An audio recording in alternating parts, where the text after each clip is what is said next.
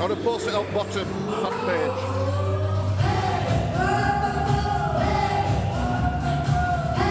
I can't believe I play bottom and uh, the line dance to it.